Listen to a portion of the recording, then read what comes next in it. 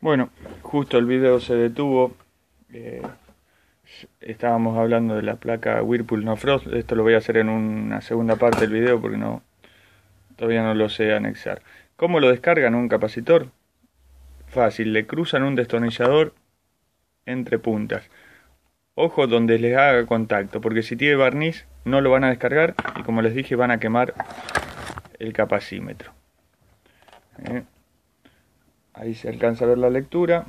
Este capacitor, como ya les dije, 2 UF nos tiene que marcar 1.90, 1.80, 2, 2,2. Entonces, este capacímetro tiene rango 2 microfaradios y lo que sigue es 20. Lo ponemos en 20, eh, por las dudas que da de un poco más de medida. Siempre lo ponen en una escala mayor. Entonces, después que está descargado, no tienen polaridad estos capacitores, lo pongan así en el sentido que lo pongan, va, nos tiene que marcar igual.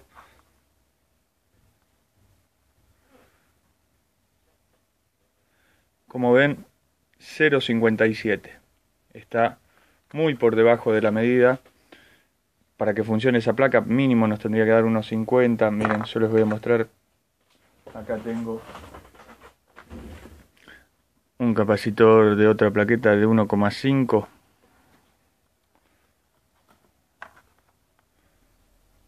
y ahí tenemos 1,45 ¿eh? seguramente la falla en esa plaqueta es el, ese capacitor. Bueno acá acabo de ver no se alcanza a ver con la cámara de este celular pero está desoldada un pin de, un relay. ¿eh? Del primero está desoldado. Eso quiere decir que la placa ha estado mucho tiempo haciendo fuerza así, se recalentó. Ahora lo vamos a resoldar. Ya cambié el capacitor. Eh, también desoldé y revisé, medí este y los diodos. Eh, si ustedes ya les dije no tienen capacímetro, cámbienlo directamente. Levantan el capacitor y cambian el capacitor. Y ahora les voy a mostrar, le vamos a dar tensión y lo vamos a probar.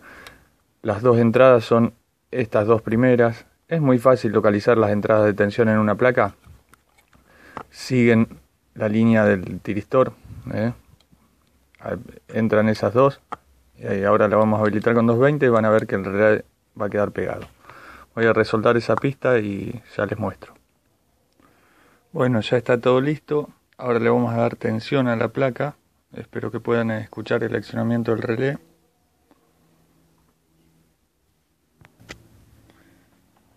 El relé en estado normal están esas dos conexiones y ahora cuando le demos contacto va a conectar con este. ¿Eh? Ahí ya pisó el relé. Ahí tenemos contacto ahí y ahora se va a cortar. Ahí está. Esa es la prueba de la placa. Le da un pulso y lo vuelve a cortar. ¿eh? Porque no tiene conectado ninguno de los sensores. Esta placa es del amigo Paleta de Ferré. Con este video cuando le diga que se suscriba al canal. Seguramente ya no me mandará estas placas. Pero bueno. Espero que tengan suerte y gracias.